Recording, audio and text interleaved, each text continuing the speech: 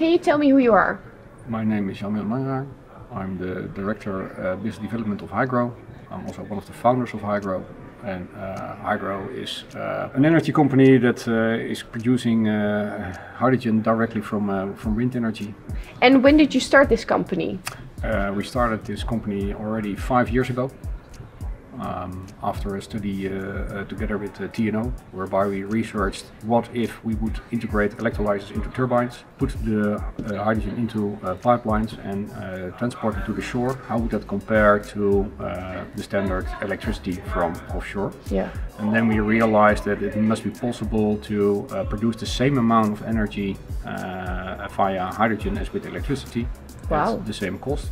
But nowadays we know it's actually possible to produce twice as much energy per square kilometer of sea and deliver it at lower cost than the electricity. And can you explain how that works? In a wind turbine, uh, there's the generator, and the generator produces an AC signal.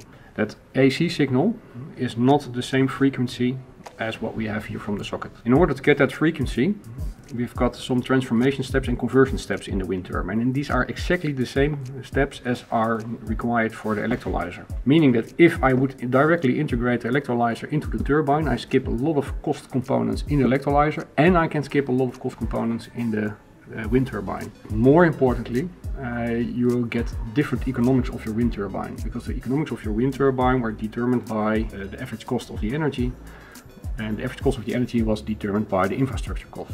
What a lot of people I don't think really realize is that the connection capacity of a, of, a, of a pipeline is up to a factor 20 cheaper than with electricity.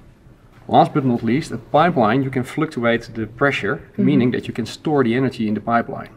And hydrogen in itself is a form of stored energy, meaning that also the other problem of electricity that if the market has got a lot of wind, price drops significantly. This problem is much, much smaller with hydrogen than with electricity. Hence, if you would uh, redesign the wind farm design and you would redesign your turbine, and you would bring that together, then you will find out that it's economically viable and possible to produce twice as much energy per square kilometer at a lower cost than with electricity.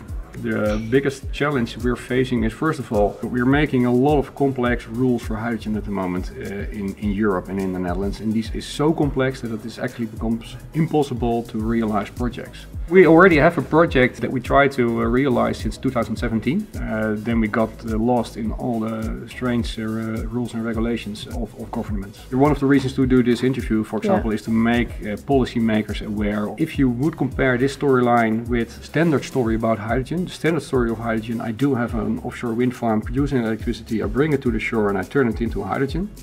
That never will be economical this is a completely different storyline. This will be more economical than ah. electricity. Um, as soon as everybody speaks the same language, that will mean that we finally will get the right rules and regulations to make this happening.